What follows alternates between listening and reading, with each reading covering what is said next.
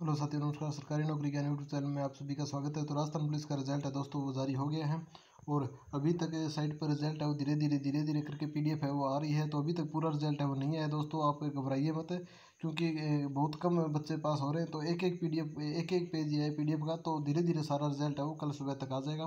तो आप बिल्कुल निश्चित रूप से टेंशन में ना रहे और वो रिज़ल्ट है, वो धीरे धीरे साइट पे आता जाएगा, आप चेक करते जाइए। निराशा होने की कोई आवश्यकता नहीं है दोस्तों, अपना रिज़ल्ट चेक करिए। कट ऑफ़ नंबर मार्क्स नहीं दिखा रहे आपके रो नंबर आपके शो हो रहे हैं। तो साइट पे आप बने रहिए निरंतर और जैसे ही पीडीएफ आती है तो डाउनलोड करके अपना रिज़ल्ट है, वो देख सकते हैं। दोस्तों वीडियो काफ़ी लेट डाली है मैंने क्योंकि कोई टेक्निकल प्रॉब्लम वजह से और मैं कहीं बाहर गया हुआ था तो इस वजह से दोस्तों आज लेट हो गया। लेकिन आपका जो रिज़ल्ट है, वो आप देख सकते हो।